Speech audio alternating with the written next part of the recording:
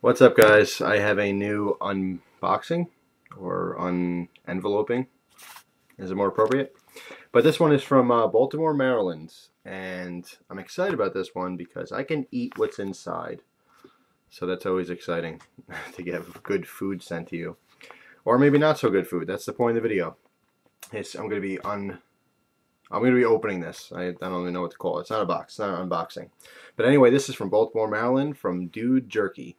And I saw some uh, some people who tried Dude Jerky, so I wanted to jump on and see what it's all about. I am a jerky aficionado, if you will. And uh, even eating healthier and having a better lifestyle as far as you know food intake and exercise and stuff, beef jerky is a great option because it's a lot of protein. Um, there's very little fat. I mean, when you make beef jerky, you have to, you know, render the fat off or completely remove the fat so that it, it will keep. And um, it's really not that bad for you at all. It's not bad at all. So this today is actually just going to be my lunch. This jerky and a piece of fruit. So um, here we go. Got the little pull tab to open it. Hmm. Pretty anticlimactic, huh? Well, I can't just leave it at that, right?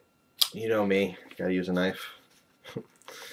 so we're gonna pop this in and very carefully open the package. Now this is one of those padded envelopes, so I don't want to get all those little fuzzy crap, this stuff.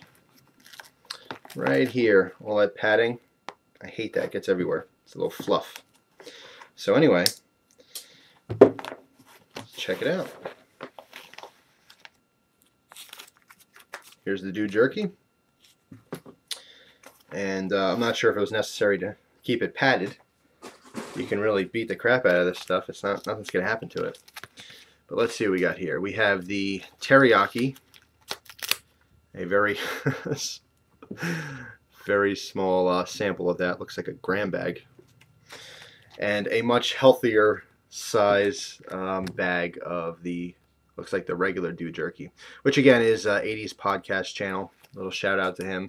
Uh, but Dude Jerky is his uh, new channel that's specific for his his beef jerky business.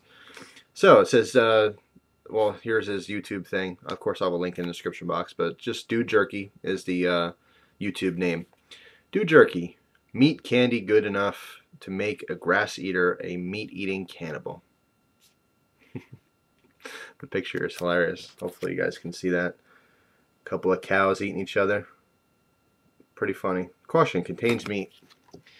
Let's see here. Ingredients are real beef cuts, soy sauce, teriyaki sauce, Worcestershire sauce, uh, spices, vinegar, smoke flavoring, honey, brown sugar. Um, says warnings. Is that an ingredient? Warnings?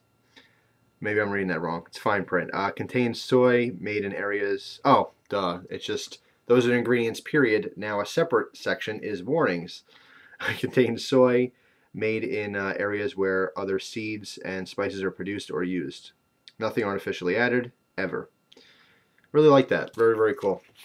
So just want to support the uh, small business and give this a try. I, I love beef jerky. So first I have my little gram bag here of the teriyaki, see what that's all about. Break the knife back out. Again, we have the Spyderco Paramilitary 2. And going to cut right into there. Hmm. This looks, and I love beef jerky, so I don't really think there's going to be an issue with taste. However, some jerky is better than others. They are not all created equal. So here we go. Break this apart. We got two little pieces here.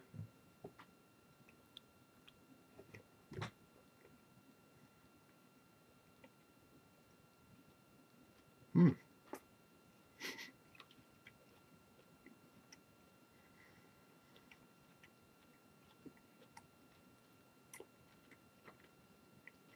It's good stuff. It's got good flavor. It's dried out perfectly. Um, some some beef jerky is really really dry and very tough, and I actually prefer the fresher beef jerky. In other words, there's there's definitely still like a very little bit of fat content.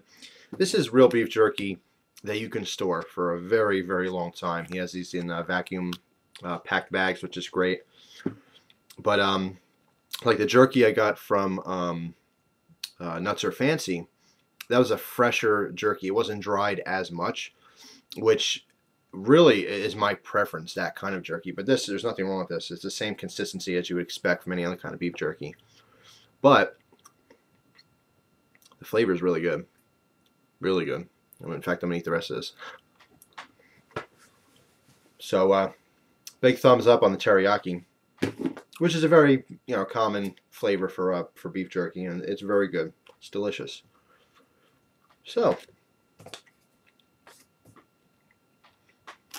don't want to be rude and talk and eat at the same time, but it's just kind of how it happens, doesn't it? Anyway, I'm to break into the larger bag here. Mmm.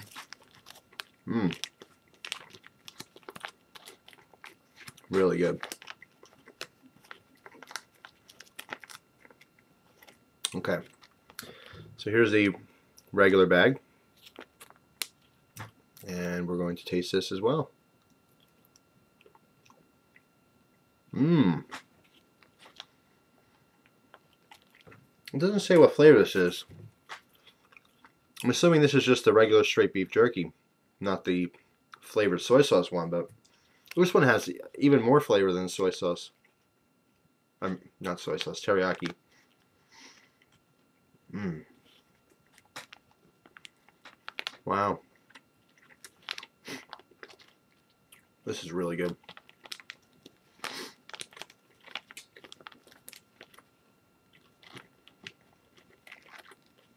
Wow. I'm sorry, I don't be rude and, and chew and get 20 minutes of just me just chewing in front of the camera, no talking. It's really good though.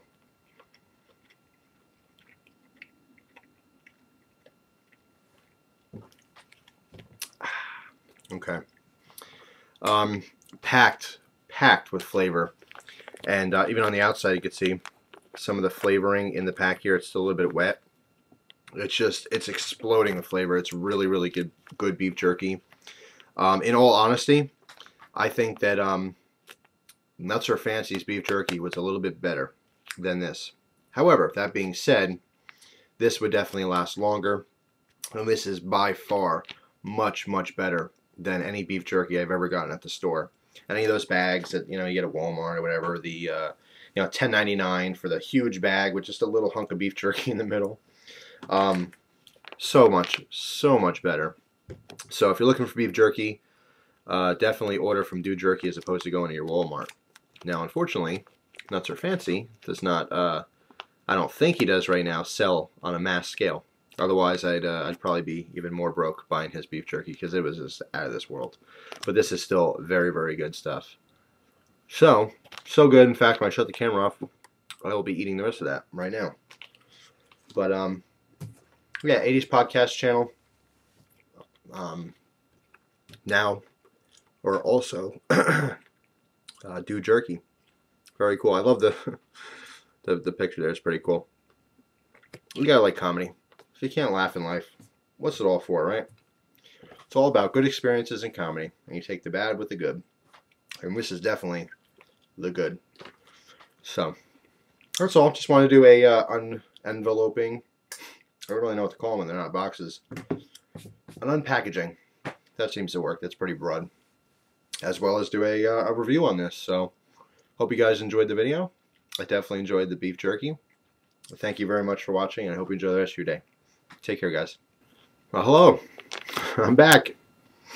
I realized uh, as I'm eating more of this, I didn't explain the flavor. I said it was very flavorful, but I didn't tell you what I was talking about. So, figure turn the camera back on and go more in depth and detail. Um,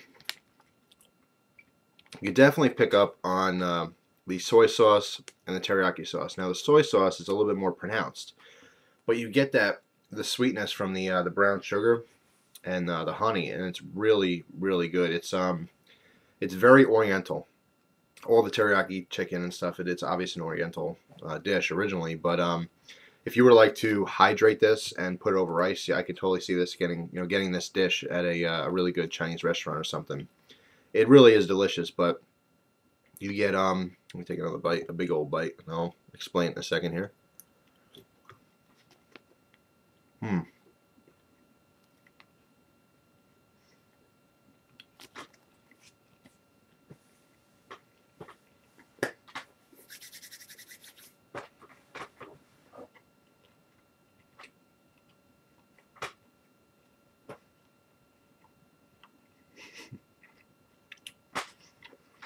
Delicious.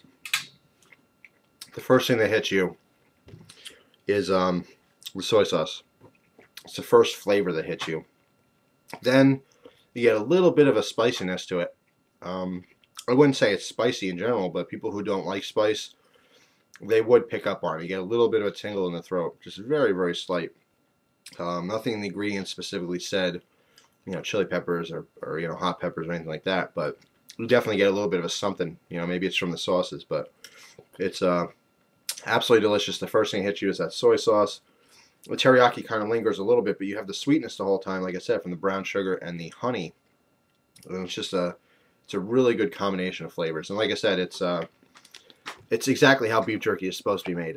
I like my beef jerky just a little bit wet, but um, it's it's great. It's really good stuff. I just want to turn the camera back on and explain the flavor profile just a little bit more. So uh, definitely Oriental. If you don't like Chinese food, don't bother with this. Uh, if you do like Chinese food like I do, unfortunately, Chinese food, this is something I thought about the other day too. There's two things I noticed about Chinese food. One is they don't use cheese in anything, which would be gross if they did, but if you think about it, there's no cheese in any kind of Chinese food at all, or any Oriental food, I don't think at all. So, just an odd thing I was thinking about one day. And also, um, what makes Chinese food so good is the sauce. Think about it. Think about your favorite Chinese food. Take away that sauce that they put on it, no matter what it is, and it becomes kind of like, eh, whatever. It's no longer Chinese food. It's all the secret is in the sauce. And that's kind of like what this is. The secret's in the sauce. Anyone can dry out meat. It's all about how you flavor it. And uh, it's flavored very well. So. I will leave you with that, and I'll let you go about your business, and I'm going to enjoy the rest of this. So, thanks again, guys. Take care.